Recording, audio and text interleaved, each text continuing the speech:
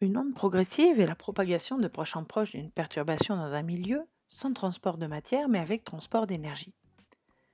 Les propriétés de la matière sont modifiées lors du passage de la perturbation et la matière retrouve son état initial ensuite.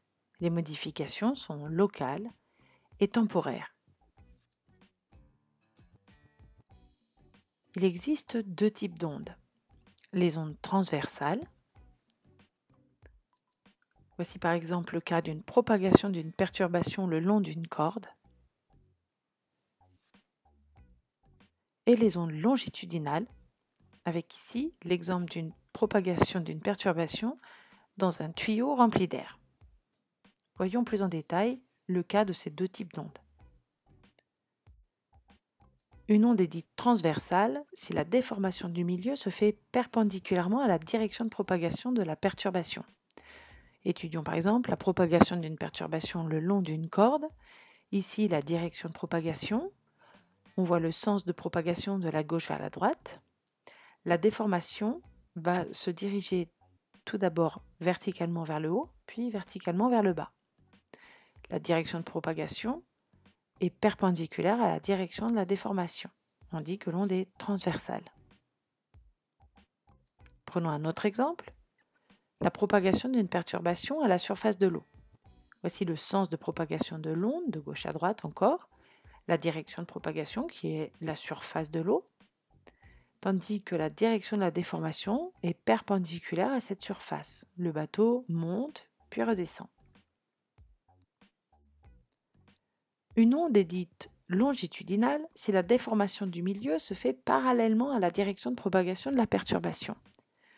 Voici par exemple la propagation d'une perturbation le long d'un ressort. Le sens de propagation de l'onde, de gauche à droite, la direction, c'est l'axe du ressort.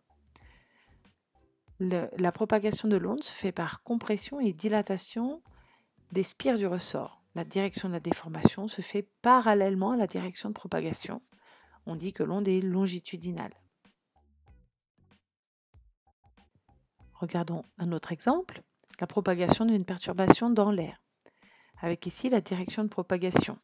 L'onde se propage de gauche à droite, le sens de propagation est indiqué par la flèche. Le déplacement des zones de dilatation et de compression se fait parallèlement à la direction de propagation. On dit que l'onde est longitudinale, là encore. Comparons deux types d'ondes sur un même support. Il est possible de trouver les deux types d'ondes, longitudinales et transversales, sur des mêmes supports, comme par exemple ici, sur un ressort. À gauche, le déplacement se fait perpendiculairement à la propagation, l'onde est transversale. Dans la figure de droite, le déplacement se fait parallèlement à la direction et au sens de propagation, l'onde est longitudinale. Pour les ondes sismiques dans un sol, on a le même cas. À gauche, le sens de propagation de l'onde se fait parallèlement à la direction de la déformation. L'onde est longitudinale.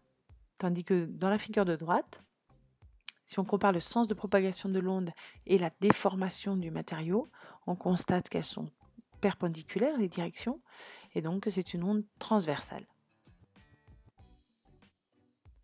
Voici ce qu'il faut retenir. Il existe deux types d'ondes. Les ondes transversales, pour lesquelles la déformation du milieu se fait perpendiculairement à la direction de propagation.